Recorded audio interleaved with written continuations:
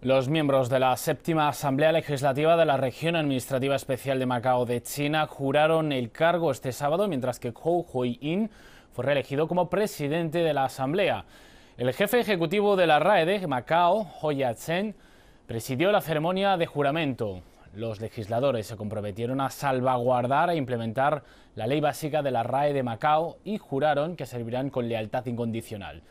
La séptima Asamblea Legislativa celebró su primera sesión plenaria en la tarde del sábado y eligió a su presidente y su vicepresidente, así como sus primer y segundo secretario. Las elecciones para la séptima Asamblea Legislativa tuvieron lugar el pasado 12 de septiembre. Un total de 14 candidatos se eligieron de manera directa, mientras que 12 fueron seleccionados de forma indirecta y 7 más fueron nombrados por el jefe ejecutivo de la RAE de Macao. El periodo de la séptima Asamblea Legislativa tiene una duración de cuatro años.